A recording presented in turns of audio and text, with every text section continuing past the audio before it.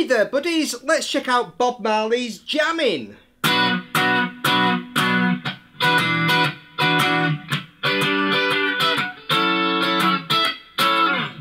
Okay, so the song's based mainly around those four chords. A B minor, an E9, a G, F sharp minor 7. So B minor,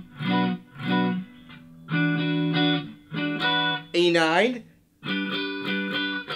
and on the G, on the last strum, I'm adding an E on top to give it a G6.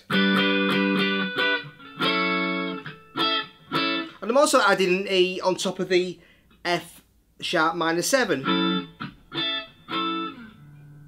Um, okay, so, and when the actual song plays, we just play on the offbeat uh, for the guitar part.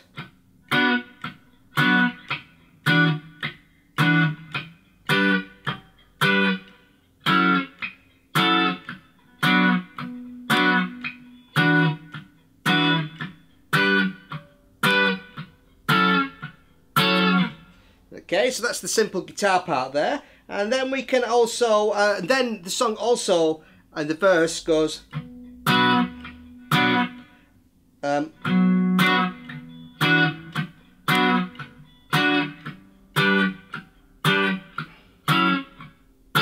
so it goes B minor to E, um, you play one on each.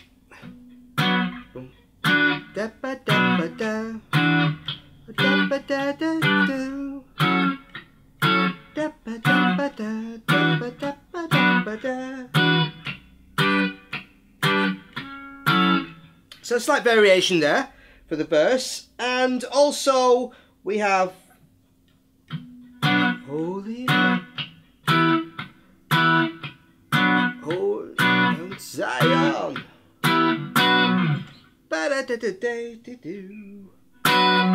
Da. So for that little section, the Holy Mount Zion, we just got an, a B minor,